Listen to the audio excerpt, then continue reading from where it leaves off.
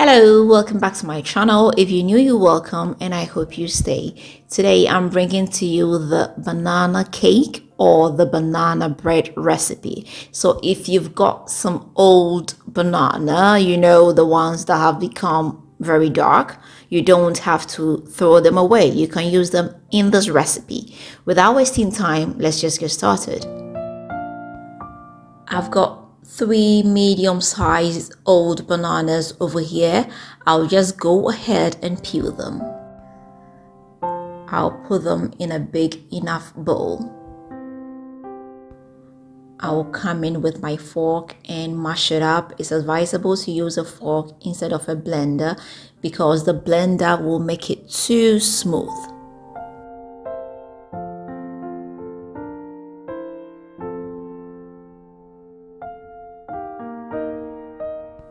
So it's been mashed very well. I will go ahead and set it aside for later. I'll get a bowl and break in three medium-sized eggs. I'll add some vanilla essence. I'll come in with about 6 tablespoonful of sugar. A pinch of salt to taste. I'll come in with my mixer and whip everything up.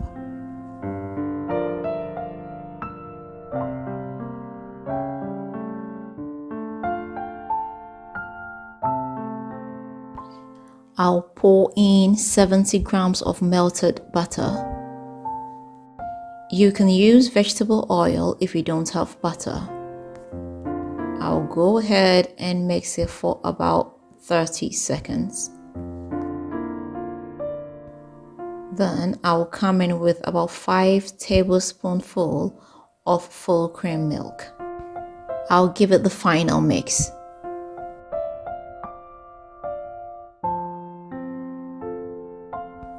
I'll pour in about 300 grams of all-purpose flour, 15 grams of baking powder, a pinch of cinnamon, I'll come in with my spoon, mix it up till it's very smooth and silky.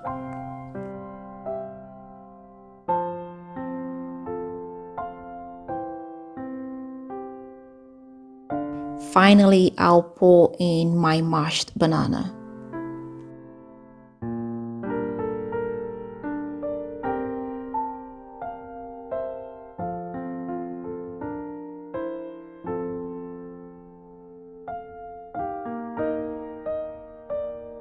The mixture is ready.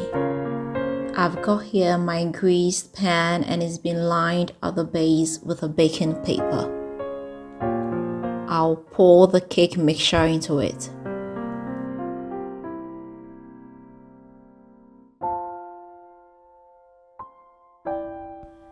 Now I'm going to bake this in a preheated oven of about 150 degrees Celsius. I'll be baking this for about 40 to 50 minutes. It's been after about 50 minutes and the banana cake is ready. I'll just go ahead and get it out of the pan.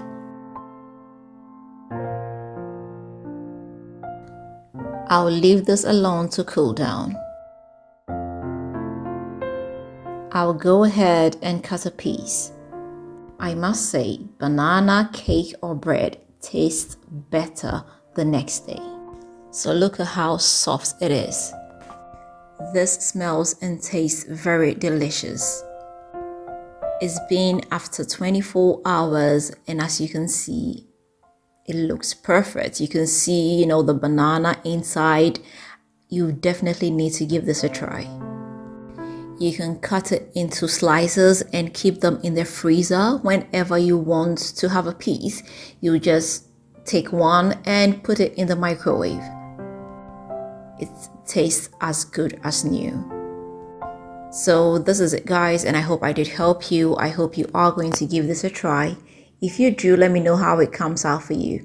If you've not subscribed, please don't forget to hit the subscribe button. Don't forget to share this with family and friends and don't forget to leave me that big fat thumbs up. Until next time, I am going to see you again with another nice and interesting one. Bye bye.